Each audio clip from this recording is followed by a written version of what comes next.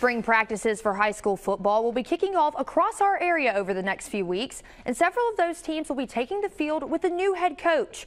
Baker football hired Hewitt-Trussville offensive coordinator Juan Johnson to take over the Hornets program just last month. I caught up with him today, and we talked about the future of Baker football. Johnson spent the last eight years under Huskies head coach Josh Floyd, but he's no stranger to the way things are done down here in the South. Before his stint at Hewitt Trussville, he was on Hall of Fame coach Jamie Riggs' staff at TR Miller. Johnson also played for the Tigers and helped lead the 2000 team to a state championship. Now a new journey for Johnson unfolds. The Hornets went 8 and 3 last season under Steve Norman and lost to Auburn in the first round of the playoffs. As they begin this spring under new leadership, Johnson says they're learning a new offense and he likes the progress that they're making. We're getting better each day. Uh, we're learning uh, things in which they can kind of help us be better. Uh, there's a lot of growth uh, as we begin to prepare for spring. We'll start spring officially on April 29th.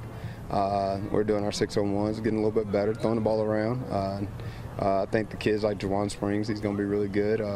they're learning a new offense, which is kind of, you know, it's, it's new for them. We're trying to snap the ball really quickly, and we're improving our mindset every day.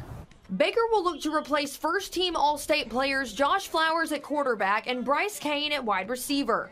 The coach feels confident in this year's quarterback room as they look ahead to next season. We feel really good. Uh, you have Jawan Springs, you have Tate Moses. Tate's currently playing baseball right now, but uh, we, we, feel really good about the kids in which we have in our program. Uh, Josh did a tremendous job. And you have Bryce Kane and those guys. They, they did a really good job offensively. Uh, we want to kind of step on the things in which they built and kind of carry that torch and that legacy forward.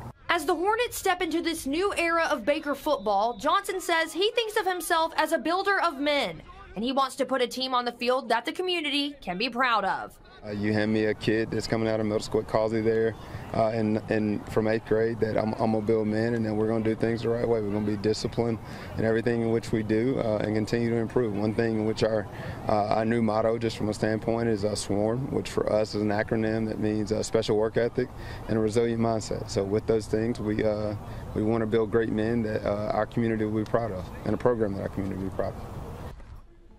And Baker will officially start practice, spring practice that is, on April 29th.